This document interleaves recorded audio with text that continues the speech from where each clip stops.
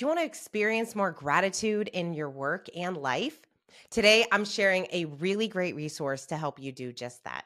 First of all, did you know that our brains cannot respond to anxiety and gratitude at the same time? It's an either or situation. Obviously, we don't want to feel anxious and stressed, but this is when we get to become very self aware and recognize when we are feeling that way. There is something that we can do about it. There's something that we can do to really help get us out of that state and into a state of gratitude, especially when we're working on our dreams. We have big things in our lives that we want to do, and we might feel anxious or stuck when we put ourselves in that sense of gratitude, it helps us move our emotions in a different direction to really push us forward in our dreams. About a year ago, I found this really great journal. Now, I journal all the time anyway in just a random notebook, but I found this five minute journal. And I really love it because it makes journaling really easy. If you're not a journaler or don't want to invest the time to journal for 20 minutes a day or whatever it is, this journal is so helpful because it gives you prompts, very easy prompts that you can do every single day. And in the morning, you fill out three different sections. One is, I am grateful for, and you fill in the blank of three different things that you're grateful for. The second is, what would make today great? And then the third is a daily affirmation. So you get to fill this in.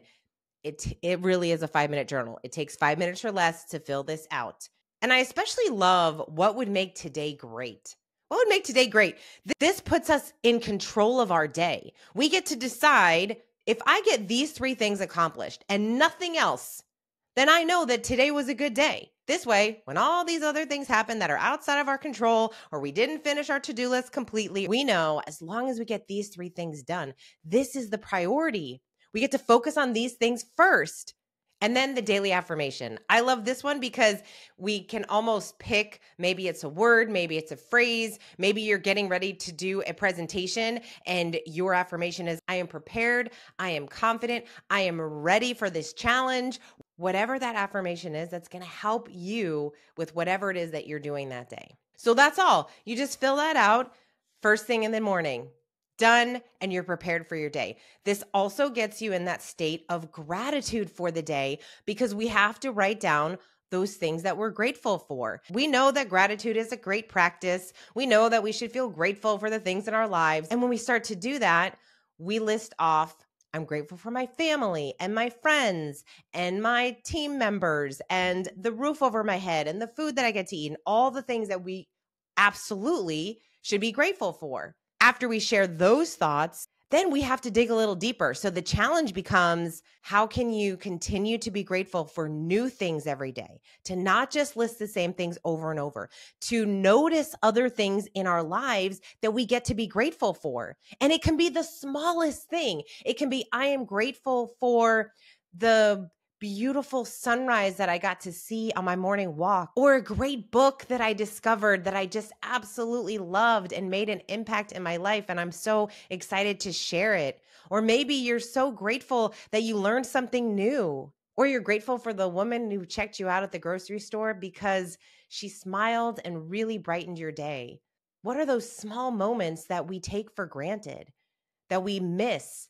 Because we're not focused on gratitude and all of the things in our lives that give us those little boosts of joy, those little boosts of energy, those small little things. So when you fill this section out, challenge yourself to come up with new things that you're really grateful for, things that you might not be noticing in your life.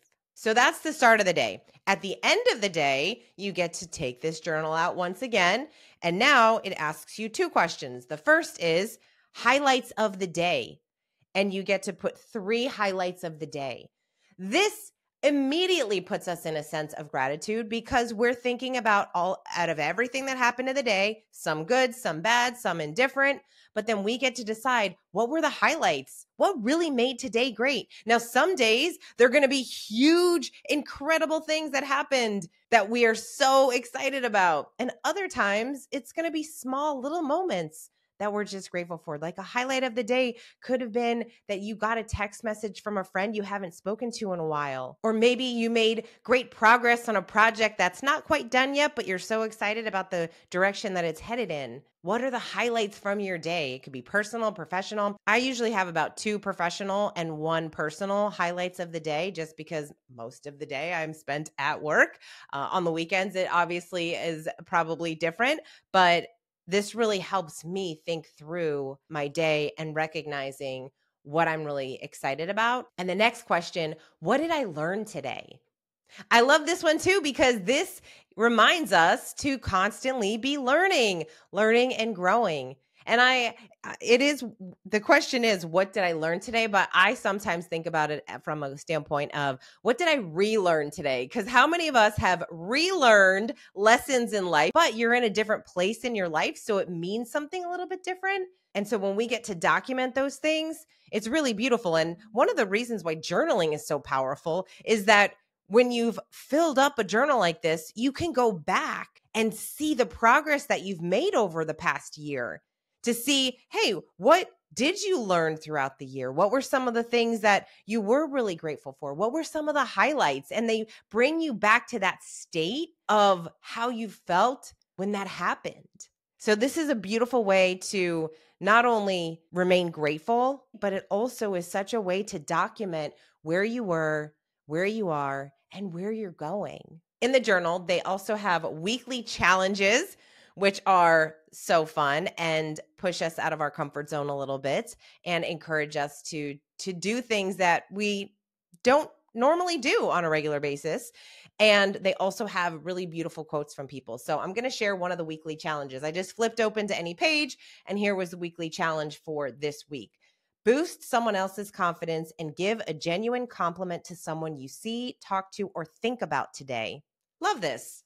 Give someone else a compliment. So easy. And sometimes we might think, oh, yeah, no, that's no big deal. But how often are we doing it? And what I really think is fun about these weekly challenges is that you might really love one or two or a bunch of them, and you might add those into your daily practice because all of the things that are shared in this journal are to help us live with more gratitude to become a better version of ourselves because we're focused on what are we grateful for, what would make today great, having a daily affirmation, and coming back to the highlights of the day and what did we learn. What I really appreciate about these kinds of resources is that it's simple stuff. It reminds us that while there are many things in life we cannot control, there are many things that we can control, and it puts us back in the driver's seat of our work and our life. I am going to put a link to get your own five minute journal, and I'll put that in the description below. So check that out and let me know if you use it and if it does enhance your gratitude when you're going to the office or in your day to day life. I would love to hear if you like this journal as much as I do. I hope you found value in this video. If you did, please like it and also share it with someone who needs to hear this as well. Let's get let's get lots of people feeling that sense of gratitude in their work and in their life. And if you haven't yet subscribed to my channel, I invite you to do so for more content to help support your personal and professional growth.